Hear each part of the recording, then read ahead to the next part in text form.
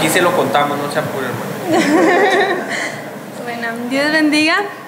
Eh, voy a predicar un textual analítico. El tema es la firmeza del creyente en el Evangelio. Y bueno, demos entonces cuenta de que es terriblemente posible vivir una vida despreocupada, fácil y medio mundana, y mantener al mismo tiempo principios evangélicos y considerarnos evangélicos. Las palabras de J.C. Riley. Eh, estemos firmes en el Evangelio. Es el título bajo el que quiero compartir esta predicación con ustedes.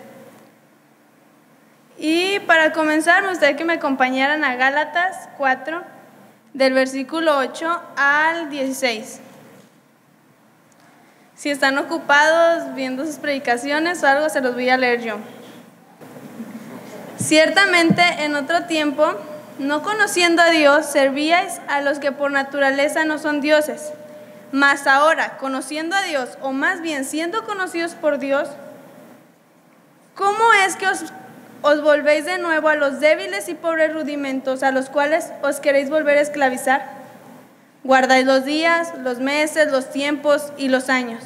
Me temo de vosotros que haya trabajado en vano con vosotros. Os ruego, hermanos, que os hagáis como yo, porque yo también me hice como vosotros. Ningún agravio me habéis hecho, voso, pues vosotros sabéis que a causa de una enfermedad del cuerpo anuncié el Evangelio al principio.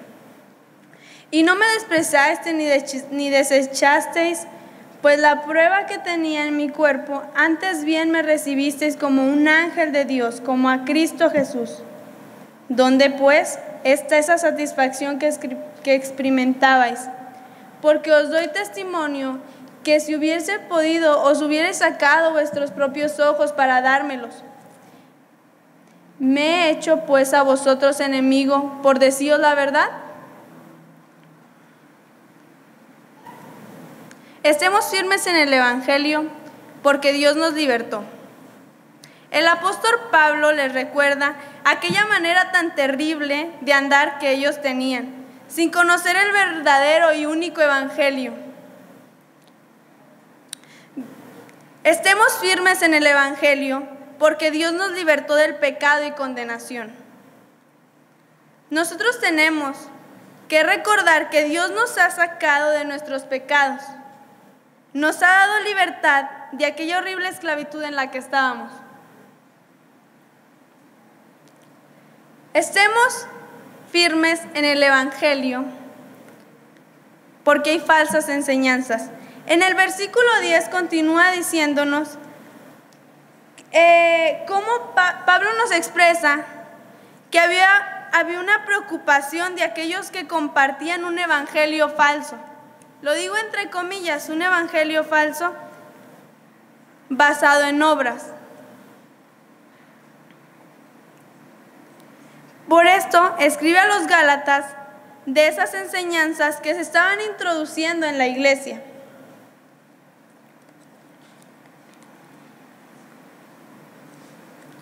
Estemos firmes en el Evangelio porque hay falsas enseñanzas que se introducen porque parecen más convenientes.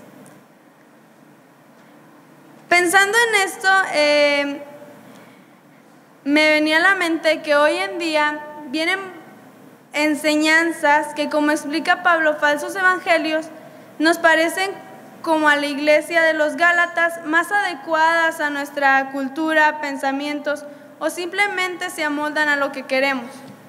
Esto me parecía alarmante y lo veía también en Pablo en el versículo en el versículo 10 que dice, guarda los días, los meses, los tiempos y los años. Con esto se refería a que estaban guardando las costumbres, estaban guardando los ritos, estaban guardando las fiestas y por lo tanto en él había una señal de alarma de esto. Lo sigue compartiendo en el versículo 11. Dice, me temo de vosotros que haya trabajado en vano con nosotros. Había un temor en Pablo por esto. Estemos firmes en el Evangelio porque podemos ver gozo del que, del que no debemos apartarnos. Pablo les pregunta en el versículo 15, les dice, ¿dónde, ¿dónde pues está esta satisfacción que experimentabas? Una satisfacción. Había en ellos antes una satisfacción que en ese momento parecía la habían perdido. Y le recuerda Pablo dice esa pregunta, ¿dónde está? Suena sarcástico. ¿Dónde quedó esa satisfacción, ese gozo, esa felicidad que ustedes expresaban?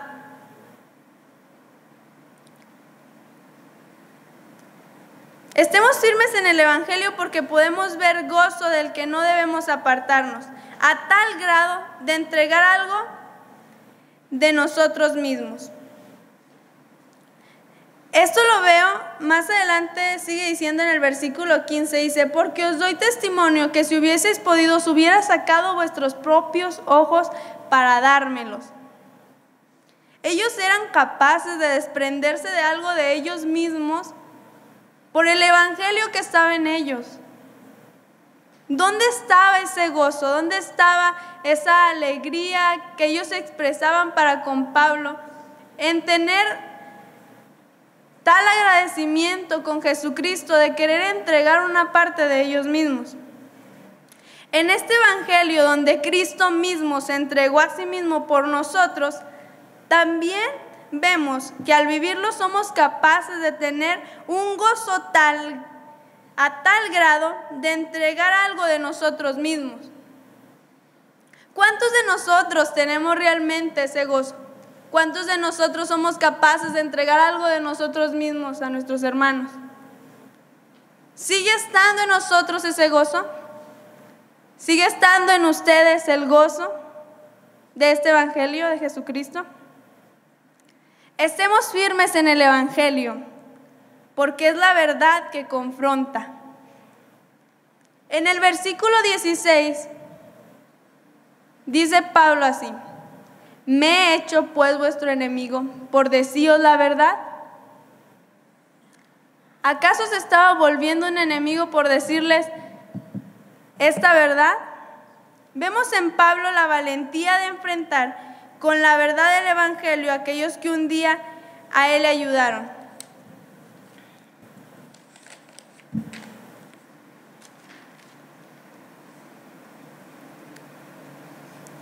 Estemos firmes en el Evangelio.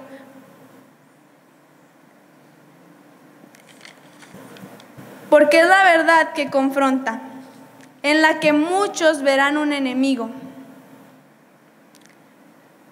¿Cuántos tenemos el valor de como Pablo no callar aunque seamos enemigos?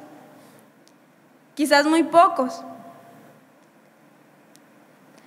Aquellos que al escuchar el error en el que se encuentran lo entienden y atienden esta situación, aquellos que se vuelven a la verdad, la verdad central del Evangelio que es Cristo mismo, aunque como a Pablo nos vean como enemigos. Como conclusión, hemos visto que tenemos que estar firmes en el Evangelio porque Dios nos libertó, que debemos de estar firmes en el Evangelio porque hay falsas enseñanzas que debemos de estar firmes en el Evangelio porque podemos ver el gozo del que no debemos apartarnos. Que debemos estar firmes en el Evangelio porque es la verdad que confronta. Hemos visto pues que debemos recordar de, dónde Dios nos ha libertado y no volvernos a otra esclavitud de nuevo. También que es alarmante en gran manera las falsas enseñanzas y que debemos procurar la satisfacción y gozo en Cristo, para que así estemos firmes a la verdad. Ven a vivir firme en esta verdad, en la que Pablo nos enseña que debemos permanecer. ¿Qué más diremos? Estemos firmes.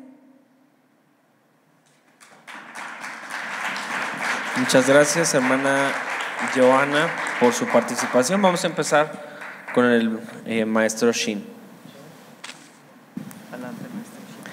Bueno, este, ¿estabas un poco nerviosa? Sí, ¿no? Sí, sí, se notaba. Pero hay que relajarse, hay que, esto es lo que vas a tal vez hacer el resto de tu vida. Así que hay que relajarse.